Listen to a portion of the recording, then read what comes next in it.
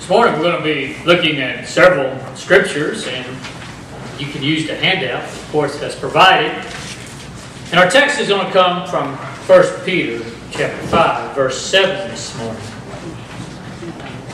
You know, we're doing a series about got to stay connected, and more than ever before in today's time, it's so vitally important that we stay connected with God. But sometimes we just don't always feel connected. Sometimes we don't always feel plugged in. Why is it I just don't feel like I know God as well as I should? Why is it that even though I know that I need to dig deeper in His Word, I know I need to sit down and study it more, I just don't do it? Why is it that I believe in who He is and who He claims to be, but deep down inside, I just have a little mistrust or a lack of trust in Him, I guess. Have you ever noticed the songs that we sing in the hymns, the traditional hymns? We sing things, we sing hymns like Jesus, Jesus, Jesus, sweetest name I know. But is it? We sing victory in Jesus, but do we feel the victory? We sing there is power in the blood. Do we feel the power? We sing what a friend we have in Jesus. Do we truly have that intimate closeness that we need? Most people today, I'd say, about all people, number one concern in life is about what happens afterwards. What happens when I leave this place called Earth?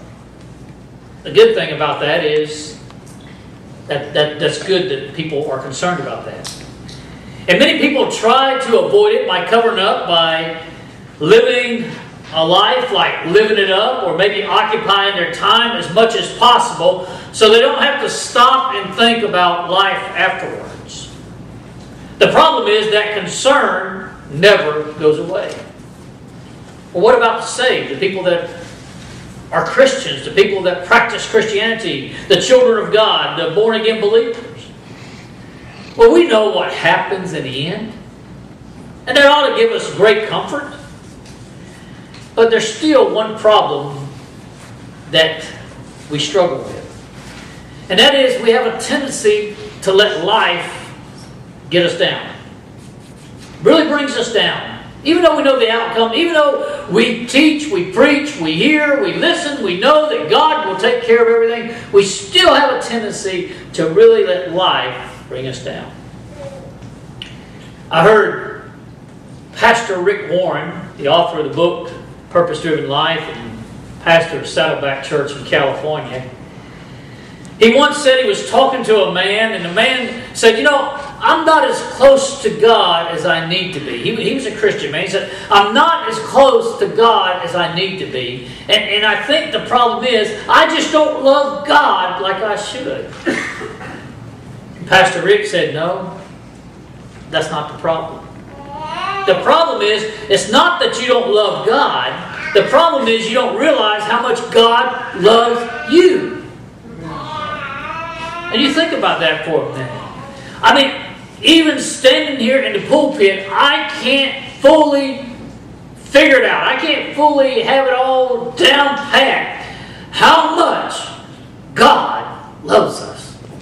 I read it, I study it, I believe it, but I, my brain capacity cannot comprehend how much He truly loves us. You know, I I love the Old Testament. I love the New Testament, and and most people wonder about the Old Testament. I think a lot of times in the Old Testament you can learn the characteristics of God.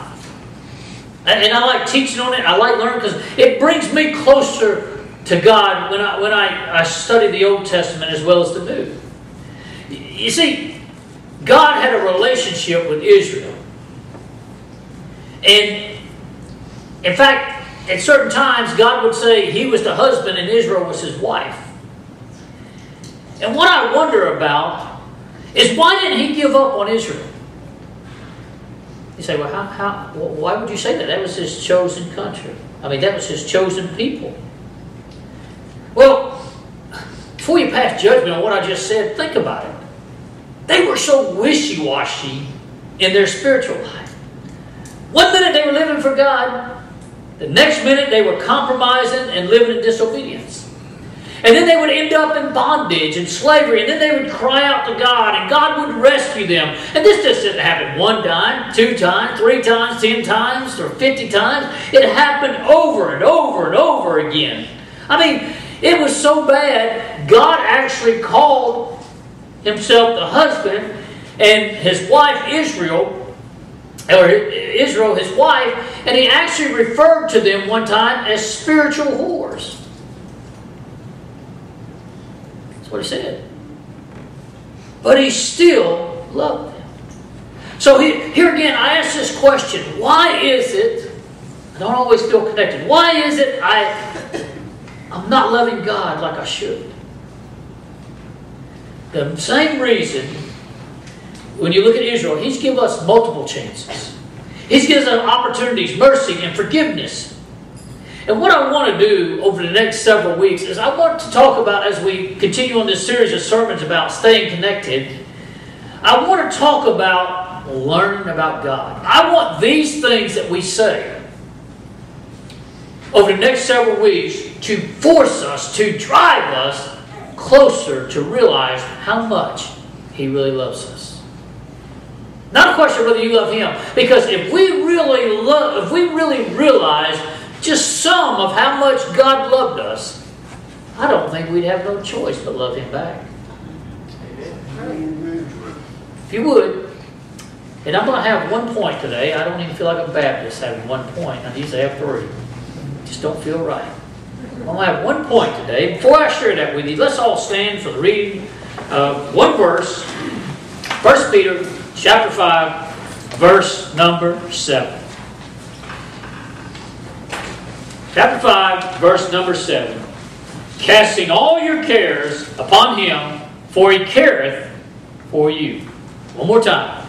Casting all your cares upon him, for he careth for you. Let's make our good confession.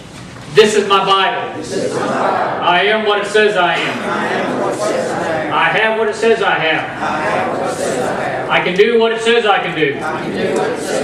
I'm about to receive. The indestructible. Incorruptible. Ever living seed. Of the Word of God. I boldly confess. I confess. My mind is alert. My heart is hungry. My heart is hungry. My heart is receptive. My heart is. Speak, Lord. Thy servant heareth. I'll never be the same. I'll never be the same. Never, never, never. Never, never, never. I'll never be the same. I'll never be the same. In Jesus' name. In Jesus name. And everybody said, Amen. Amen. May be seated. Let me share number one, our first and only point today about God. About what does it take? What is it that we need to know? Now, listen when I say this. We need to know that we know this point.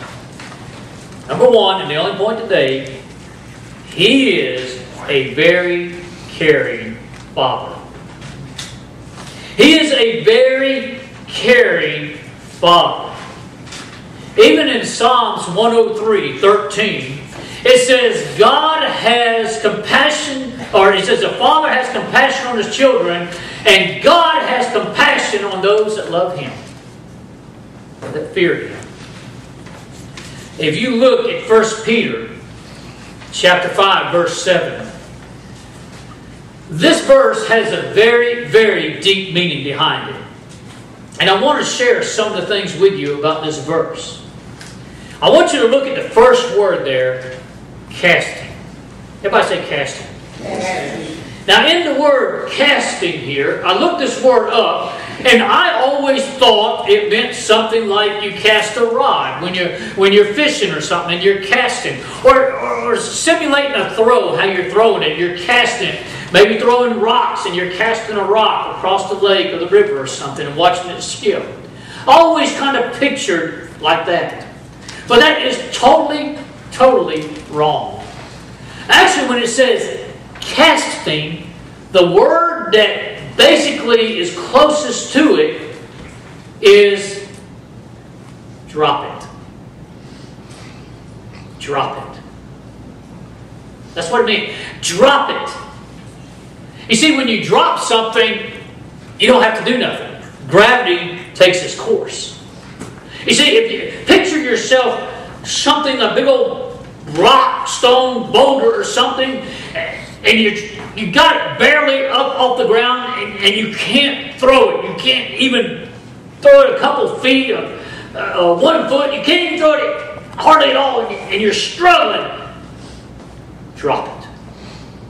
That's what it means here. Casting actually in the Greek means to, to drop it. Just drop it. You say, wow. Drop it? Drop it. And what he's saying is drop all your care, all your burdens, all your anxiety, all your problems. Just drop them. Drop them. Why not throw them? Why not toss them? Because it takes too much effort. Just drop it. Now, that's what he's talking about here. He's saying, he, he's saying, just drop all your worries. Yeah, now, now, notice the second word there, all. I looked that up and found out in the Greek, it also has a meaning. The meaning of the word all here in the Greek actually means all. Yeah, I thought it did too. It means all. It means just drop all. Just in other words, you know what? You can't fix it. You can worry about it. It ain't, it ain't going to do you no good. You, you can fret over it, but you know what? In the end, of eventually, you're just going to have to drop it. And that's what it means. Now, sometimes we don't always realize how much God cares. Does God care about your health? Absolutely. Does, does God care when you're frustrated? Yes. Does God care when you're having financial money problems? Yes. Does God care when you're having family problems and relationship problems? Yes. Does God care when you have an upset stomach and gas? Yes. Does God care when your face breaks out with pimples? Yes. God cares. That's what he says. He said, cast all your care. He cares about everything. God knows everything about us. Amen? Amen? And he cares about us. The Bible says, now get this. The Bible says that the hairs on your hair, head is numbered. Not only is that they numbered, God knows the original color of your hair. So he cares. God knows everything about us. Now, here's the problem. Again, you and I don't always realize how much he truly cares. And I, and I know part of it we, we're just not going to grasp. But we need to understand more than what we do. And one of the biggest problems, one of the warning lights that we have in life is when we say we're a child of God and we're reading His Word, we're studying His Word, and we seem to be close to God, and we have a problem. You ain't gonna believe this, but we have a problem with one certain issue, and that's relaxing. Relaxing. When we have a problem where we're chronically worried about something or get uptight over everything and all like that, we seem to question God. We seem to say, God, why can't something just go right? Now, I want to share some examples with you about this. I want you to think about what these people went through. Let's look at the first one. And that's in John chapter 11, verse 20 through 40. I'm not going to read that, it's there for your benefit. And most of you may know the story of, of John chapter uh, there. And it's where Martha and Mary have a brother named Lazarus. And Lazarus dies. Okay? He dies.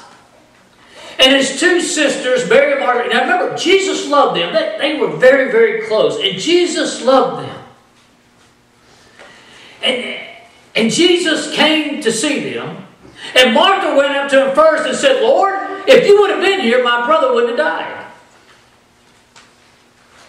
Even some, if you would, look, look at uh, John chapter 11 there. And, and you can see where, where uh, verse is it? John chapter 11. Notice verse number 21. And Martha said unto Jesus, Lord, if thou, if thou had been here, my brother had not died. Notice verse 32. And when Mary was come where Jesus was and saw him, she fell down at his feet, saying unto him, Lord, if thou had been here, my brother would have died. Notice verse 33. And Jesus therefore saw her weeping, and the Jews weeping, which came with her. And he groaned. Everybody say groaned. He groaned in the spirit and was troubled. Verse 35, it says that Jesus wept. Now, notice verse 37, or verse 36. And some of the Jews, everybody was standing around there, and some of them said, Wow, he really loves them. He's crying. He's upset with it. He really loved them. And then others of them, verse 37 said, This man who healed the blind, healed the blind, that, that caused the blind to see, couldn't he have done something that caused this man not to die? You see, what Mary, Martha, and some of the Jews were saying is, Lord, don't you care? Don't you care? Lord, don't you care about what's taking place? Lord, don't you could have kept him from dying. Lord, don't you care? Just and you know what they were really saying when they said this? When they said, Lord, don't you care? You see, it was a two day journey. They lived in Bethany, Jesus was in Jerusalem.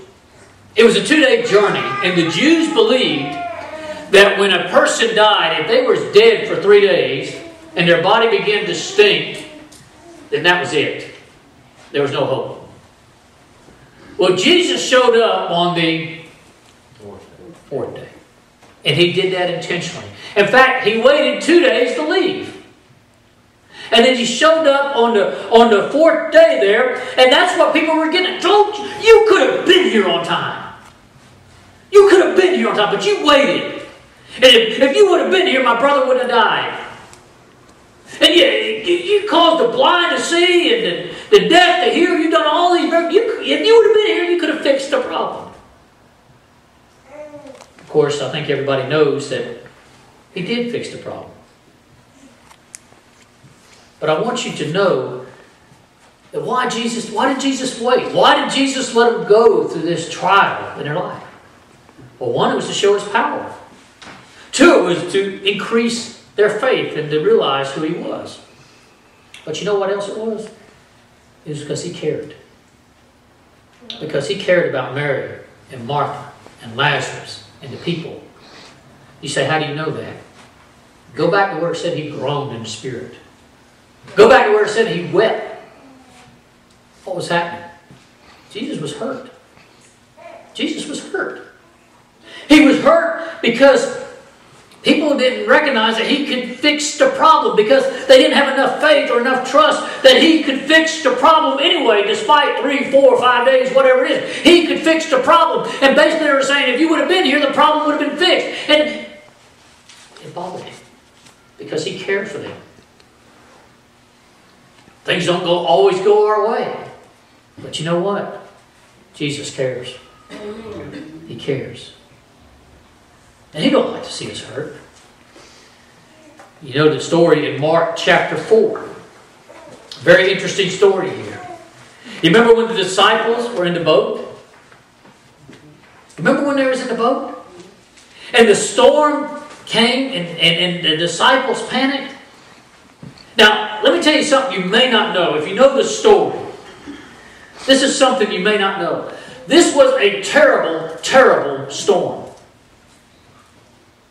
This, this would be like us here in Alabama under a tornado warning with the sirens going off and you can actually see the tornado over your head. It, it, it, was that kind of it was that kind of panic. You say, how do you know it was that bad? Because the people in the boat were professional fishermen. Okay? Anybody here fished all your life? That's it, you fishermen? Okay? Have you ever noticed fishermen that, especially the ones that have fished for so long, they don't care about the weather most of the time. It's going to be really, really bad. I mean, it could be raining, it could be light. Most of the time, they're going to go anyway. And they're going to take the stuff. They, they, they, they're not really worried about the weather unless it really, really gets really bad. Well, here, it had to get really bad because they were commercial fishermen. They, they were used to all sorts of weather. And then if you look and you see in Mark chapter 4, as the storm hit, notice verse number 38. Disciples run down there to the bottom of the boat. Jesus is asleep. And they wake him up and they say, Lord, don't you care? Don't you care we're going to die? Lord, don't you care? They woke him up and said, Don't you care? Now, there's something wrong with this statement. And I don't know if y'all ever caught on this. I, I just finally caught on this week. I'm a little slow. Why would the disciples say that? The storm was bad, I got it. But let me go back again. Why would they say that?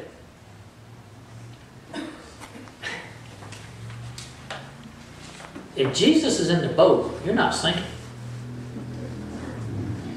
Amen? Amen. I mean, if, it, if he's in the boat, you're not sinking. And Jesus was in the boat, they're not going to sink. I don't care what the storm is. If Jesus is in your boat, you're not going to sink. Yeah. If Jesus is in your finances, you're not going to sink. Right. If Jesus is in your relationships, you're not going to sink. If Jesus is in the midst of your spiritual life, you're not going to sink. If Jesus is in the midst of your physical problems or emotional problems, you're not going to sink. He's in the boat. Amen. The only problem is, is when Jesus is not in the boat. So I guess the message is get Jesus in the boat. Amen. Amen. But here they come and Jesus is in the boat. And I say, Don't you care? Don't you care? And this is where Jesus comes back and says, Ye of little faith. Of course, he stops the storms. But but here's the point. I mean, if I'm Jesus, I'm looking at it and say, Hey, hey, don't you know who I am? Haven't you seen what I done? Well, I'm in the boat. Ain't nothing going to happen to you. Well, you know, when Jesus is in your life, it's going to be okay. Yeah. Here's the problem. We're just like the disciples. We're just like Mary and Martha. We're just like those other Jews and say, Lord, you done this, this. What? Lord, don't you care? Lord, there's a storm in my life. Don't you care? I'm in the boat. I care. I'm in the boat. Notice in Matthew chapter 9. Let me read that to you, those last few verses there. And when he saw the multitude, he was moved with compassion on them because they fainted. The word fainted here means they were they were emotionally, they were just lost. Um, and they were scattered abroad as a sheep having no shepherd. Then said he, Jesus, unto his disciples, The harvest truly is plentiful, plenteous, but the laborers are few. Pray therefore the Lord of the harvest will send forth laborers to harvest. There's another example.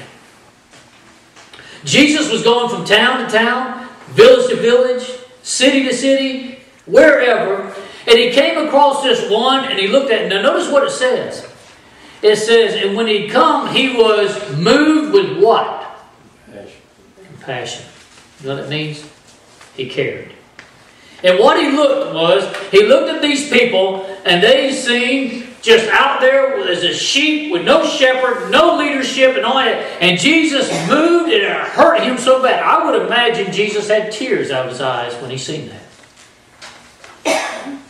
When you look at it, they just seem so spiritually defeated. They seem so down and out. He said, You know what? The world is filled with people like this. The world is filled like the harvest. The world is filled with people like this. You know what? Pray right now that laborers will come forth. That people will step up to the plate. People will, will teach, people will witness, people will be involved, people will, will, will take part in the Lord's ministry, people will pray. I mean, you could see him making this prayer request, this, and, and it says that he was moved with compassion. You see, he is a very caring father. And sometimes we just don't always realize how, how caring he is. And, and look over and over in the Bible again, and, and you look at several examples. These were just a few to, that we mentioned. But over and over it talks about how he cares and cast over care upon him, for he careth with you for you. Now, going back to 1 Peter 5 7, I know there's got to be one question in mind. That's easier said than done. How do I just drop it? Is the reason why I cannot drop it is because I don't love God enough? Is the reason why I just can't drop it, or the reason why I worry about it, or the reason why I get frustrated is, is because I'm not close to God as I should be? Is, is the reason I just don't love it? What's the problem? Here's the problem. We don't always realize how caring He is. We don't realize how much He loves us. And Jesus says, Look, I'm asking, I'm begging don't try to throw it. Just drop it. Don't try to cast it. Just drop it. It's too heavy of a load. Now, now, now, you got two choices, really, is what Jesus is saying here. The first choice is you can keep doing what you always done. But you know, when you keep doing what you always done, you're going to get the same results. Amen. Right. If you ever wonder why, that's the definition of insanity. Okay? Keep that in mind. If you keep doing what you've always done and get the same results and wonder why, you're insane. Okay? And all of us have got a little insanity, amen? Okay?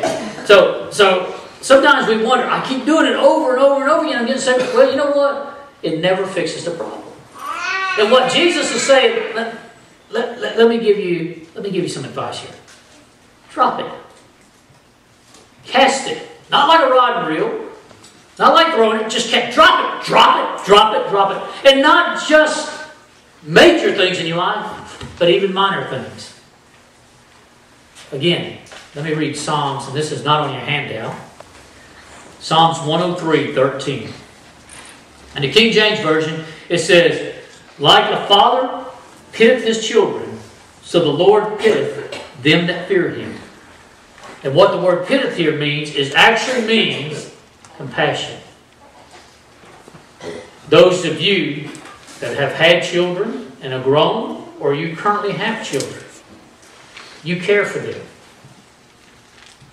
Amen? Amen? I mean, you care. You, you want to provide a home. You want to provide clothing. You want to provide food. You don't want just to throw them out there and say, fend for yourself. You want to be that good father, that good mother, that good grandparent, whatever it may be. You want to provide the very best you can because you care. Right. It's true. And you know, sometimes children really make dumb mistakes. Amen? Amen. Oh, I knew I'd get that. they, they really, really make dumb mistakes. But you know what? You care so much, you still help them. Amen. You do. And, and, and sometimes we make dumb mistakes as adults. We, sometimes we really flub it up and we, and we just do it. And you know what? God says, I care. Right. God says, I can fix this. And you know what? If we know how to do it, I think he's a lot better than we are. Anybody remember the passage in the book of Matthew where he says that you, being earthly fathers, know how to give good gifts to your children? And he says, uh, he says, if ye being evil, in other words, with sin in your life, know how to give good gifts to your children, how much more shall your Father which is in heaven give good things to them that ask. What is he saying? He's saying, I've got it. I, I, know more than you. I know. I care. I have compassion upon you. I know just like your own children. You have compassion. You care for them. You want the best for them. You try this. You try that. And when they make mistakes, you pick them up. You help. What do you think I do for you? Only I do more of it. And I'm better at it than you are. You see, one thing I want you to leave here today with, and really, really ponder upon it this week, is God is a very caring Father. Amen. And He loves you and I more than, than we could ever comprehend. I, I know that. But think about that. And think about this too. Drop it. It. Whatever it is, that weight, that boulder, that rock, that that's on you, drop it. Let God handle it. I think He's better than us it. Amen. Would you bow your heads, please?